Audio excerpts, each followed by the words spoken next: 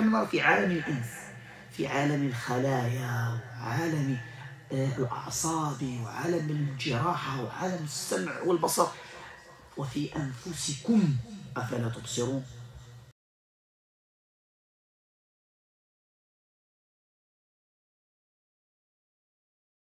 الإنسان هذا خلق عظيم. الإنسان خلق عظيم. حينما تسمع إلى الأطباء في التشريح وفي علوم شتى في علوم يعني الأمراض وعلوم الأعصاب والعظام والجلود والسمع والبصر والخلايا. تقول سبحان الذي حب الإنسان بكل هذا. هذا الإنسان فما ظنكم بعالم الجان؟ أن نفهم شوية. الإنسان الذي تراه أمامك هو مجموعة يعني أسرار. الإنسان هو مجموعة أسرار. لا تحيط بها. لا يستطيع الإنسان أن يحيط بها. مهما مع, مع تقدم الطب يقفون عاجزين في أمور. مع تقدم الطب يكتشفون أمور عظيمة جدا. حتى في عالم الحشرات التي نراها. عالم الحشرات. عالم الحيوان الذي نرى حقيقة. فما ظنكم بعالم هو خفي ويغيب عنه عالم الجن والشياطين والأباليس والعفاريت والمرض؟ لكنه موجود. كما الإنسان موجود الطير موجود الحيوان موجود الجن والشياطين والعفاريت هم كذلك خلق موجود. يستطيع إنسان أن يجمع هذا العلم كله ويقول ما عنده هو الصواب ومن خالفه فهو الخطأ. قل حنانيك. ما أستطاع أن يجمع هذا حتى من هم أعظم علما وفهما وقدرة ولكن كلما ازددت فيه سيرا كلما وصلت إلى أدلة إلى منارات. إلى أضواء إلى أعلام إلى نور إلى شفاء بإذن الله رب الأرض والسماء. فالجن في تكاثر. لا تنسى هذا. ها الجن كذلك في تناسل وفي تكاثر. لا تنسى هذا. شياطينهم وكفرتهم وأبرزتهم كذلك ذريتهم. تؤز بعضها بعضا ويشهدون في الأذى وفي الكفر وفي الشيطنة وفي الإبليسية وفي السواد وفي السحر وفي الظلام. ويتفننون ويرسل ما وصلوا إليه يسقطه على الكفرة من السحرة. حتى يشاهدوا ما يوافق الحال والزمان في أذية العباد. لا تظن الأذية التي كانت قديما. هي الأذية التي هنا الآن في هذا الزمان. أبدا. حتى هم يتقدمون في زرع الأذى يتقدمون في أنواع السحر. يتقدمون في أنواع الشرك والكفر والشر. فافقه والزم يتقدمون. فما وصل الناس إلى هذا الفساد العريض إلا بإبليس اللعين الذي هو من المنظرين.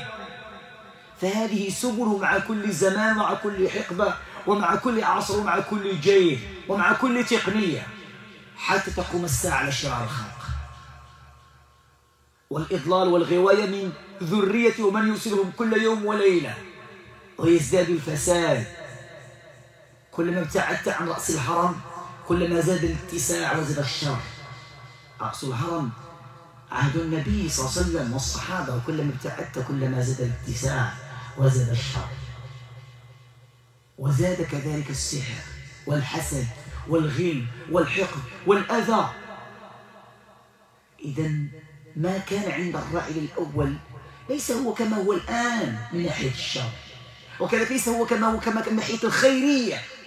التي كانت في عهده فافهم إذا وجب الاجتهاد ليتخلص الناس من أنواع الابتلاءات التي هي بسبب المس والحسد والجن والشياطين والمرض وإلا أكلتهم الذئاب واللئام. ونحن نطالع ونراقب وننظر ونلعب ما نقدم ونؤخر. نعم. هذا القرآن الذي أنت تقرأ وترقي به حتى يجعل إبليس لهم قوة وطاقة على مقاومته. يقول لهم هذا القرآن الذي تعظمونه أو يعظمه المؤمنون وبه يؤذونكم إن حاولوا سأسحر به. سحرك الذي به ولجته بالقرآن فلا يؤذيك أصلا ولا يؤثر فيك. وإن كان يؤذيك فلك جلد وصبر وقوة. لأن سحرك أصلا صنع بالقرآن. أكان هذا قديما؟ سحرك بآية. كتب عليها وسوف يعطيك ربك فترضى. أي لن يستطيع الخير أن ينزل على هذا العبد وأنت كلما تلا القرآن كلما ازددت شرا وقوة مني أي يقول إبليس عن نفسه مثلا. وهذا نراه بمنظومات ونراه بأشياء كثيرة جدا نحيا فيها إذا الاجتهاد لا بد منه. لا بد. حتى تصل إلى الشفاء فلا بد أن تعرف الخبايا والخلايا.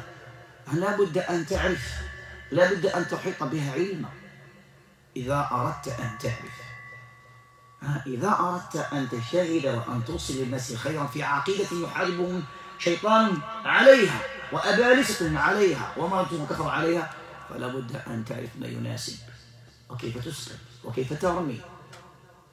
هذا إن وفقت أصلا بإذن الله عز وجل. فإذا لا بد أن نفهم هذا. فإبليس اللعين هو لا يأخذ عطلة ولا ينام كما قال الحسن البصري لو نام لاستراحنا لا يأخذ إجازة لا يأخذ استراحة. يقاتل شرا وسوادا بالليل والنهار. مع اليهود يقاتل مع النصارى يقاتل مع المسلمين يقاتل مع الغلو أهل الغلو في دين الله تعالى يقاتل مع أهل الكفر والفسق والزندقة يقاتل مع بالعين الناظرة الحاسدة يقاتل مع أصحاب الغضب يقاتل. لا يترك مجالا يراه ينفث من خلاله سمه إلا وقاتل. جنوده في كل مكان رسله في كل مكان. من يسلطهم هم موجود معهم في كل مكان. حتى جعلوا القباب وجعلوا الأضرحة وجعلوا الكهوف وجعلوا الأضرحة. وجعلوا الذبائح وجعلوا الدم وجعلوا القتل وجعلوا الحقد والغلة والحسد والسحر. قل ما شئت. ما هذا إلا اجتهاد من إبليس. ما هذا إلا اجتهاد من الأبائس والشياطين. وهذا ما نراه أن ما خفي عنا فهو أعظم. ما خفي عنا فهو أعظم. ما خفي عنا فهو أعظم. فكيف نستطيع أن نخلص الناس؟ من هذا الأذى ونحن في جهل ونحن لا نعلم ولا نفقه أن هناك مس خارجي يحيط بالبدن. أن هناك جنود يقيدون ليس في البدن خارج البدن. كيف؟ سنستطيع أن نقدم المساعدة حينها.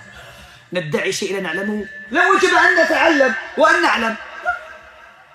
هذا هو الحقيقة التي يجب أن يعلمها الناس كيف تعرف حال المعمر؟ يؤذي وهو ليس في البدن.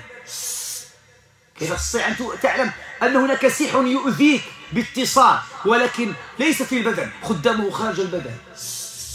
هذا كله خارج البدن. وكيف تعلم أن هناك في البدن موجود علة لكن تخشى أن تجلى وأن تتكلم وأن تظهر لأنه لك من يخيفها خارج البدن؟ كيف تعلم أن البدن تحت وطأة السحر وشدته؟ ويجعل الوسواس في الله وسوس في ذات الله في توحيد الله.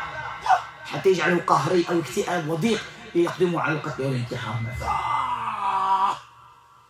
أشياء كثيرة جدا. هذه الخفية. لا نتكلم عن صرع الجن يتكلم. نتكلم عن الخفية. أو يستحيل إخراجه أو يستحيل الوصول إلى هدايته أو شفاء وبؤتان. لأن هناك اجتهاد من ساحر. واجتهاد بطقوس سحرية كفرية. واجتهاد بمواد سحرية. واجتهاد في أماكن فيها سحر. واجتهاد خدام على السحر وحول حول البدن وفي البدن. إضافة إلى إبليس الكبير. هذا كله اجتهاد وأنت تقف هكذا وتقول إيه مسكين الله يشافيه. نعم الله يشافيه. وأنت ماذا قدمت؟ تقول أنا كنعالج. إيه واش كتعالج؟ يا عيني على العلاج. شنو؟ تقرأ لي فاتحة هو الفاتحة هذه يحفظها مثلك. وربما سحر بها. فهمها إحنا لا نستهين. الفاتحة أم الكتاب والسبع المثاني والقرآن العظيم. الفاتحة هي الشافية الكافية والرقية والوقية هي كافية كل شيء بإذن الله.